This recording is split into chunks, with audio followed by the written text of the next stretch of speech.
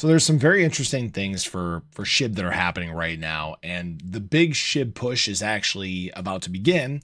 And this means for for price, for optics, for really all things SHIB, this is going to be extremely beneficial. And I want to share this with you guys. I'm Luckside. Welcome to the channel. If you guys are new or haven't already, make sure you hit that subscribe button down below. Hit that bell again. It's free to do. It'll keep you updated anytime there's new content live here on the channel.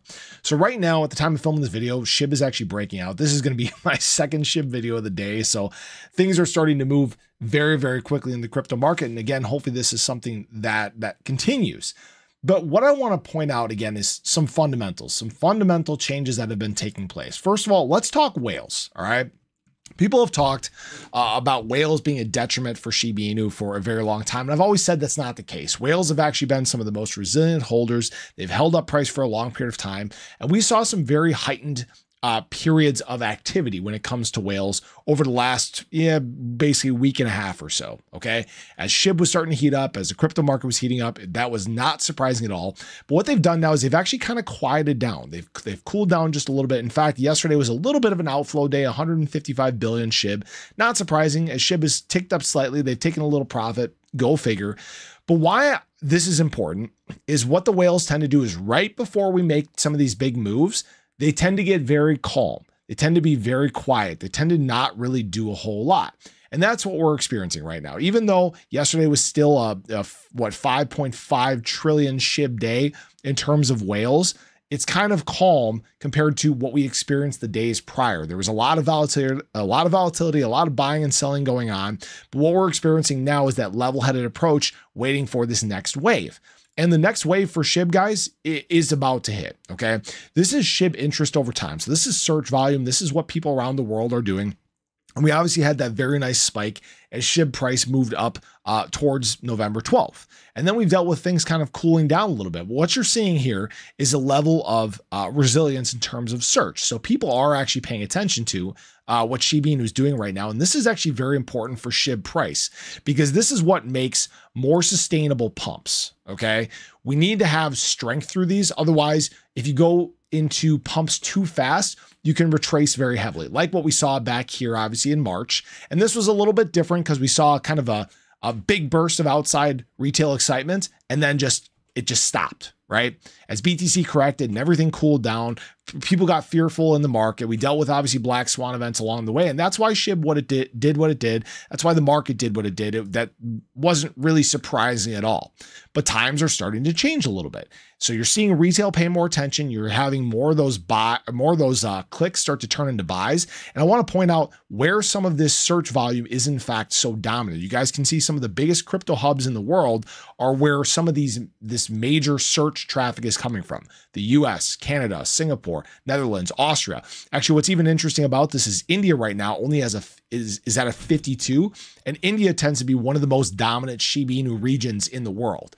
So we haven't even seen this really pick up in a big way yet. And that's where this is really so exciting.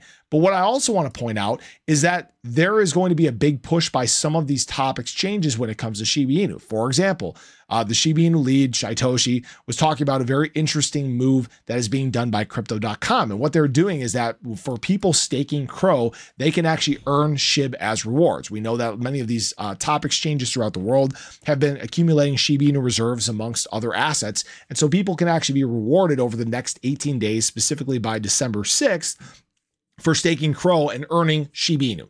So this is a very interesting push by exchanges. And what people need to remember is that these exchanges are businesses. I, I know I talked about this maybe like a month ago or two months ago. You're going to see this push by exchanges for some of the top coins in the space as we get into alt season. Because guess what? The more trading that takes place, the more volume there is, the more money they make. Okay. And some people say, oh, that's terrible. Well, you know, it is what it is. They're a business, right?